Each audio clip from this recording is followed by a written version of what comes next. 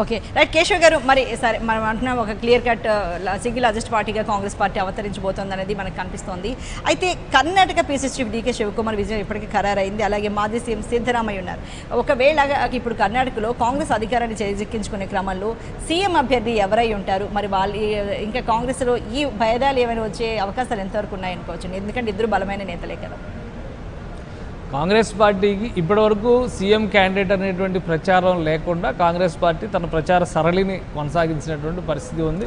సహజంగానే కాంగ్రెస్ శైలి ప్రకారం అధిష్టానం ఎవరు నిర్ణయిస్తే వాళ్ళే సీఎం అయ్యేటువంటి అవకాశం ఉంటుంది. కానీ ఒకటి ఏంటంటే గతంలో ముఖ్యమంత్రిగా చేసినటువంటి సిద్ధరామయ్య ఇమేజీ కాంగ్రెస్ పార్టీని ఇప్పటి వరకు కూడా ప్రజల్లో చెక్కు చెదరకుండా ఉంచింది అనేటువంటి అభిప్రాయం కర్ణాటక ప్రజల్లో ఉంది. అది వాస్తవం. ఎందుకనంటే మీరు నంబర్స్ని పక్కన పెట్టి ఓట్ షేర్ని కనుక పరిగణలోకి తీసుకుని చూస్తే గత ఎన్నికల్లో కాంగ్రెస్ పార్టీ ఓడిపోయినప్పటికీ కూడా ముప్పై ఎనిమిది శాతం ఓటు బ్యాంకును సాధించగలిగింది. అలానే అధికారంలోకి వచ్చినటువంటి భారతీయ జనతా పార్టీ కేవలం ముప్పై ఆరు శాతం మాత్రమే ఓటు బ్యాంకుని కర్ణాటకలో సాధించగలిగింది. ఇది వాస్తవం. అంటే నంబర్స్ని సీట్ ఓట్ షేర్ని సీట్ నంబర్లుగా మార్చుకోవడంలో కాంగ్రెస్ పార్టీ అక్కడ విఫలమైన మాట వాస్తవం. ఈ క్రమంలోనే గత ఎన్నికల్లో ఎనభై స్థానాలకు కాంగ్రెస్ పార్టీ పరిమితం అయిపోయింది. భారతీయ జనతా పార్టీ అధికారంలోకి వచ్చినటువంటి పరిస్థితి. ఇప్పుడున్నటువంటి ఈక్వేషన్స్లో చూస్తే కనుక బీజేపీకి సంబంధించినటువంటి ఓట్ షేర్ కూడా ఎక్కడా చెక్కు చెదరలేదు. ముప్పై ఆరు శాతం ఓట్ షేర్తో ఆ రోజు అధికారంలోకి వచ్చిన బీజేపీ ఈరోజు అధికారాన్ని కోల్పోయినప్పటికీ ఇప్పటి వరకు జరిగినటువంటి కౌంటింగ్ సరళిని బట్టి చూస్తే ముప్పై ఆరు శాతం ఓట్ షేర్ని దాదాపుగా దక్కించుకున్నటువంటి సంకేతాలు ఉన్నాయి. అంటే బీజేపీ తగ్గలేదు కాంగ్రెస్ పార్టీ ముప్పై ఎనిమిది శాతం గత ఎన్నికల్లో ఉన్నటువంటి ఓట్ షేర్ని ఈ ఎన్నికల్లో ఇప్పటివరకు వచ్చినటువంటి అంచనాల ప్రకారం చూస్తే నలభై మూడు శాతానికి పెంచుకోగలిగింది. ఈ ఐదు శాతం కాంగ్రెస్కి ట్రాన్స్ఫార్మ్ అయినటువంటి ఐదు శాతం ఓట్ షేర్ ఎక్కడి నుంచి వచ్చింది అనేది ఇక్కడ ఆసక్తికరమైనటువంటి ప్రశ్న. ఈ క్రమంలో చూస్తే జనతాదళ్ సెక్యులర్ పార్టీతో పాటు ఇతర పార్టీలు కూడా కర్ణాటక రాజకీయాల్లో కుదేలైనటువంటి వ్యవహారం కనిపిస్తుంది.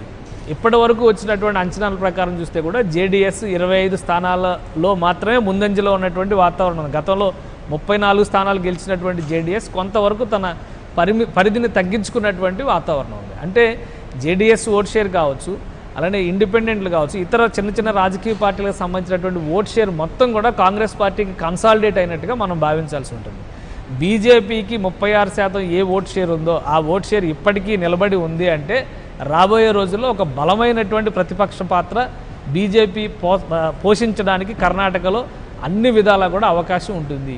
మిగతా రాజకీయ పార్టీలు ఇక్కడ కొంత జాగ్రత్త పడాల్సినటువంటి అవసరం ఉంటుంది. ఎందుకంటే ఈ కాంగ్రెస్ పార్టీ కావచ్చు లేదా ఇతర రాజకీయ పార్టీలు కావచ్చు ఇవన్నీ కూడా వీక్ అయితే బీజేపీ కనుక పుంజుకుంటే రాబోయే రోజుల్లో కర్ణాటకలో మళ్ళీ మత రాజకీయాలకు ఊతం వస్తుందనేటువంటి సంకేతాలు ఉన్నాయి వీటన్నిటిని దృష్టిలో ఉంచుకొని చూస్తే కనుక కాంగ్రెస్ పార్టీ వీక్ అవ్వడం వలన ఎక్కువగా నష్టపోయేది లౌకికవాద పార్టీలే. ఈ నేపథ్యంలోనే ఓట్ షేర్ కోణంలో చూస్తే కాంగ్రెస్ పార్టీ విజయాన్ని ఒకరికి ఆపాదించడానికి అవకాశం లేదు కాబట్టి కాంగ్రెస్ పార్టీ సంప్రదాయ మెథడాలజీ ప్రకారమే ముఖ్యమంత్రి అభ్యర్థిని నిర్ణయిస్తారు.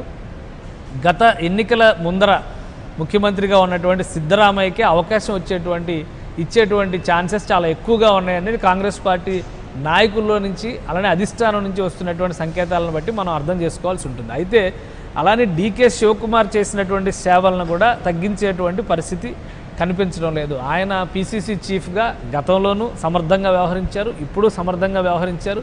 అధికారంలోకి రాకపోయినా కానీ గత ఎన్నికల్లో కూడా శివకుమార్ పాత్ర చాలా కీలకమైంది. ఈ నేపథ్యంలోనే ఇద్దరికీ కూడా పవర్ షేరింగ్ పద్ధతి ప్రకారం ఒక అగ్రిమెంట్కి అధిష్టానం సూచించేటువంటి అవకాశం ఉంది అనేటువంటి మాట కూడా అంతర్గతంగా ప్రచారంలో ఉంది. అంటే ఒక రెండున్నరేళ్ళు సిద్ధరామయ్య రెండున్నరేళ్ళు శివకుమార్ ముఖ్యమంత్రి పదవిలో కూర్చున్నా ఆశ్చర్యం లేదు. మొదటి దఫాగా సిద్ధరామయ్యకి అవకాశం ఇచ్చి ఆ తర్వాత ముఖ్యమంత్రిని మారుస్తాం అనేటువంటి సంకేతాన్ని కూడా కాంగ్రెస్ పార్టీ అంతర్గతంగా ఇచ్చేటువంటి ఛాన్సెస్ కూడా ఉన్నాయి. లేకపోతే ఎలాగూ బీజేపీకి ఇంకొక ఆప్షన్ దొరికినట్టుగా మనం చూడాల్సి ఉంటుంది. ఎందుకంటే మహారాష్ట్ర